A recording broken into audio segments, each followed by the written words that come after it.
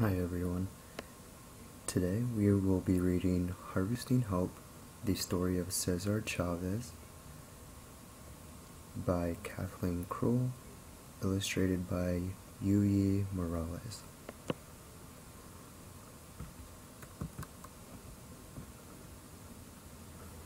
Until Cesar Chavez was 10, every summer night was like a fiesta. Relatives swarmed onto the ranch for barbecues with watermelon, lemonade, and fresh corn. Cesar and his brothers, sisters, and cousins settled down to sleep outside under netting to keep mosquitoes out. But who could sleep with uncles and aunts singing, spinning ghost stories, and telling magical tales of life back in Mexico? Cesar thought the whole world belonged to his family. The 80 acres of their ranch were an island in the shimmering Arizona desert, and the starry skies were all their own.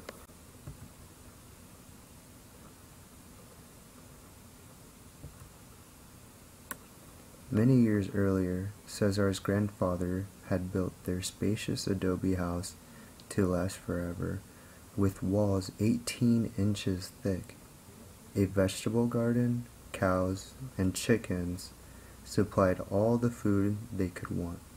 With hundreds of cousins on the farm nearby, there was always someone to play with. Cesar's best friend was his brother, Richard. They never spent a day apart. Cesar was so happy at home that he was a little afraid when school started.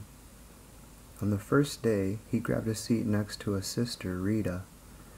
The teacher moved him to another seat, and Cesar flew out the door and ran home.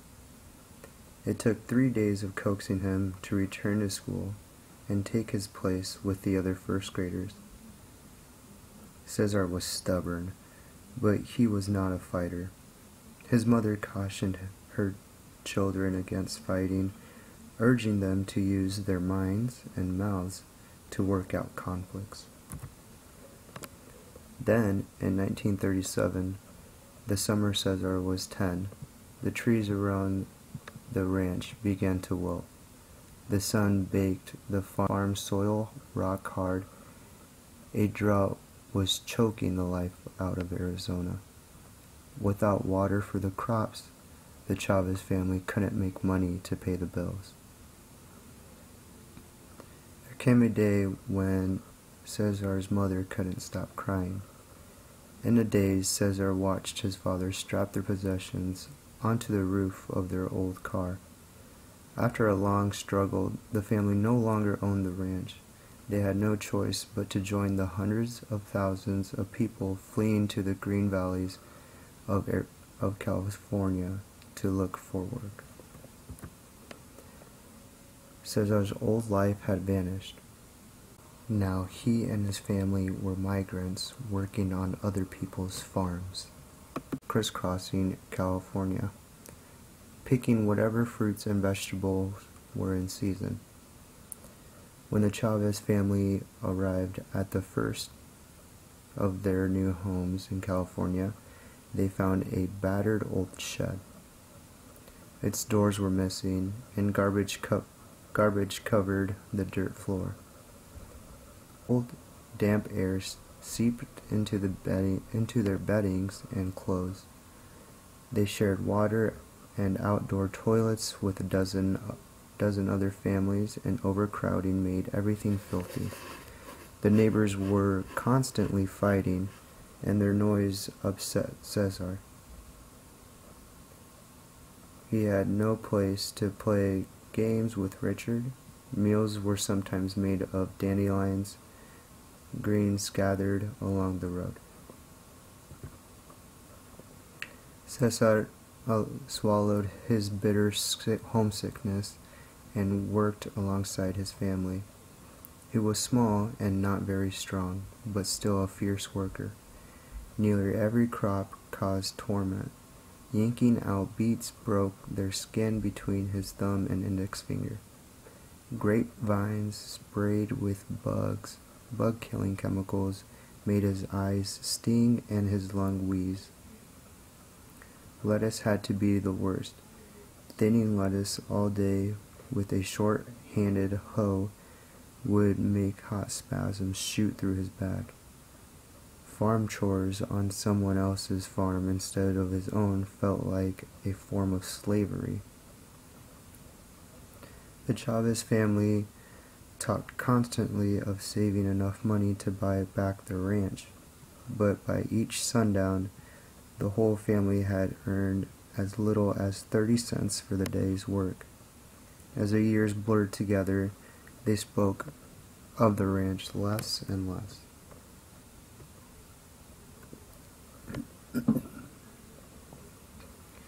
The towns weren't much better than the fields. White trade only signs were displayed in many stores and restaurants. None of the 35 schools Cesar attended over the years seemed like a safe place either. Once after Cesar broke the rule about speaking English at all times, a teacher hung a sign on him that read, I am a clown, I speak Spanish.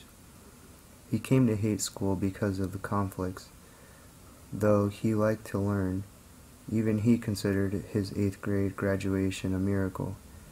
After eighth grade, he dropped out of work in the fields full time. After eighth grade, he dropped out of dropped out to work in the fields full time. His lack of schooling embarrassed Cesar for the rest of his life. But as a teenager, he just wanted to put food on his family's table.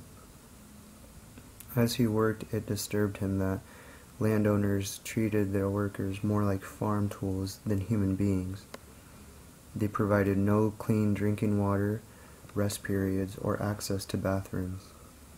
Anyone who complained was fired, beaten up, or sometimes even murdered. So, like other migrant workers, Cesar was afraid and suspicious whenever outsiders showed up to try to help. How could they know about feelings? How could they know about feeling so powerless? Who could battle such odds? Yet Cesar had Cesar had no, never forgotten his old life in Arizona and the jolt he'd felt when it was turned upside down farm work did not have to be this miserable. Reluctantly, he started paying attention to the outsiders. He began to think that maybe there was hope, and in his early 20s, he decided to dedicate the rest of his life to fighting for change. Again, he crisscrossed California, this time to talk to people and to join in his fight. At first, out of every hundred workers he talked to, perhaps one would get would agree with him. One by one, this was how he started.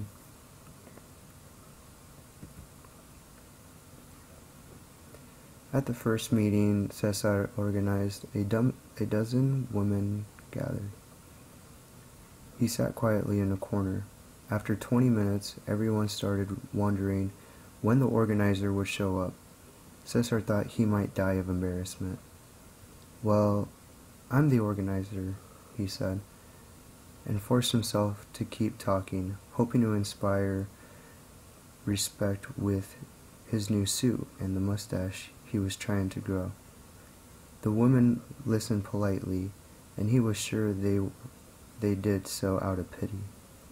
But despite his shyness, Cesar showed a showed a knack for solving problems. People trusted him. With workers, he was endlessly patient and compassionate. Compassionate. With landowners, he was stubborn, demanding, and single-minded. He was learning to be a fighter.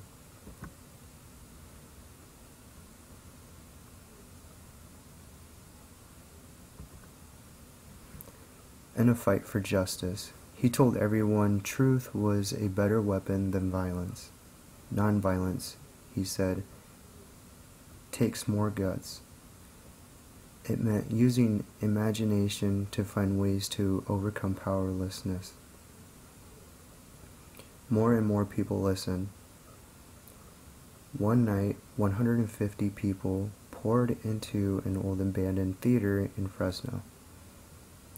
At this first meeting of the National Farm Workers Association, Cesar unveiled its flag, a bold black eagle and sacred bird of the Aztec Indians.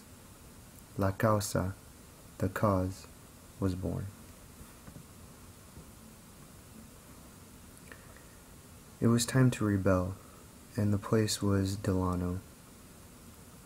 Here in the heart of the lush San Joaquin Valley, brilliant green vineyards reached towards every horizon. Poorly paid workers hunched over grapevines for, the, for most of each year. Then, in 1965, the vineyard owners cut their pay even further. Cesar chose to fight, just one of the 40 landowners, hopeful that others would get the message. As plump grapes drooped, thousands of workers walked off that company's field in a strike, or huelga. Grapes, when ripe, do not last long.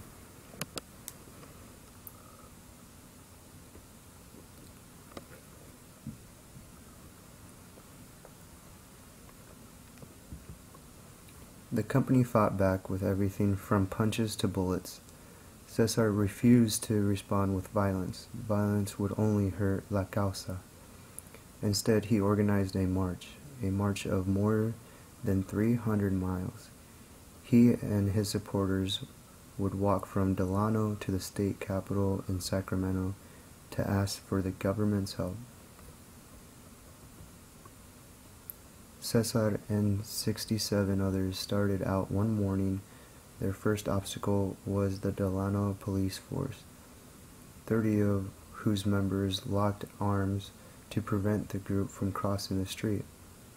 After three hours of arguing in public, the chief of police backed down.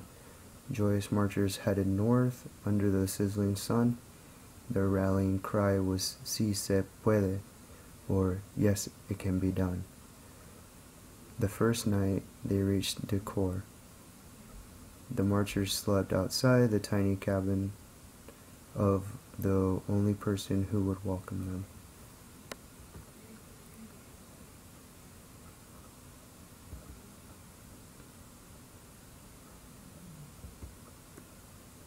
Single file, they continued covering an average of 15 miles a day. They inched their way through the San Joaquin Valley while the unharvested grapes in Delano turned white to mold. Cesar developed painful blisters right away. He and many others had blood seeping out of their shoes. The word spread.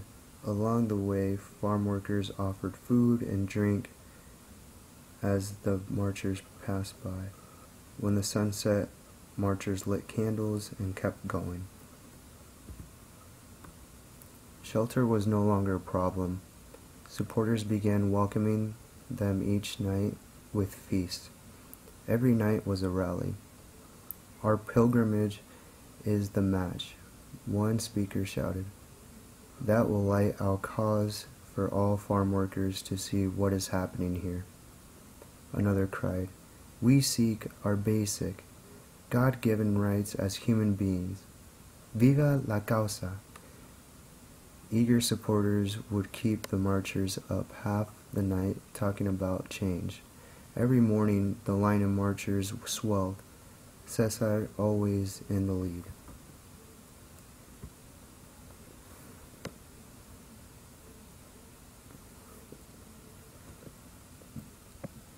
On the ninth day, hundreds marched through Fresno. The long, peaceful march was a shock to people unaware of how California farm workers had to live. Now students, public officials, religious leaders, and citizens from everywhere offered help. From the grape company, the, public, the publicity was becoming unbearable. and on the vines the grapes continued to rot. In Modesto, on the fifteenth day, an exhilarated crowd celebrated Cesar's 38th birthday. Two days later, 5,000 people met the marchers in Stockton with flowers, guitars, and accordions.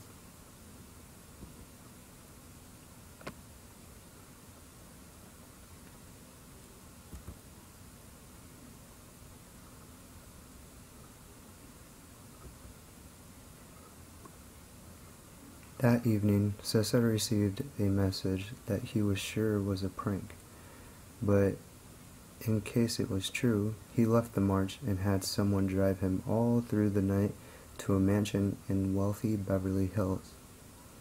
Officials from the great company were waiting for him.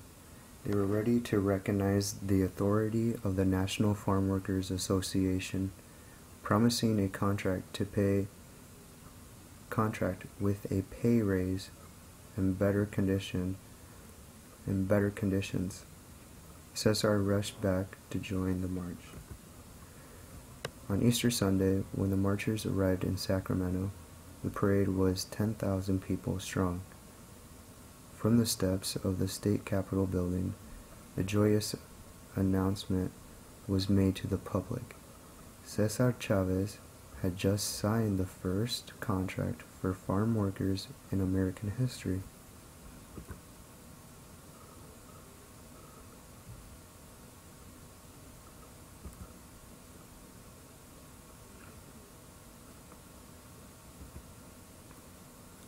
The parade erupted into a giant fiesta. Crowds swarmed the steps, some people cheering, many weeping, prancing horses, carried men in mariachi outfits. Everyone sang and waved flowers or flags. They made a place of honor for the 57 marchers who had walked the entire journey. Speaker after speaker, addressing the audience in Spanish and in English, took the microphone. You cannot close your eyes and your ears to us any longer, cried one. You cannot pretend that we do not exist. The crowd celebrated until the sky was full of stars. The march had taken its toll. Cesar's leg was swollen and he was running a high fever. Gently, he reminded everyone that the battle was not over. It is well to remember there must be courage but also that in victory there must be humility. Much more work lay ahead, but the victory was stunning. Some of the wealthiest people in the country had been forced to recognize some of the poorest as human beings. Cesar had won this fight without violence, and he would never be powerless again. The end.